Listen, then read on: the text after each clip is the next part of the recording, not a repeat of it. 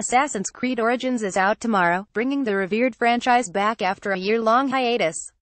With four years of development time behind it, it's back with a bang. With better combat, jaw-dropping visuals and an expanded scope, this year's Assassin's Creed is a winner. To celebrate its release, we've got some shiny Assassin's Creed Origins loot to give away. We've got a super bundle that includes not just a copy of the game on Xbox One remember, it's one of the showcase games for the impending Xbox One X, but also an incredible statue of Origins hero Bayek, himself perched upon a statue of Sekhmet, the warrior goddess.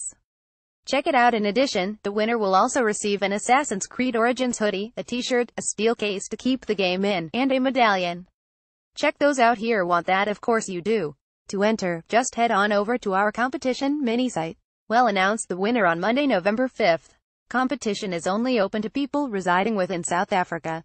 Assassin's Creed Origins is out on October 27th on PC, PS4 and Xbox One. Enter last updated October 26, 2017.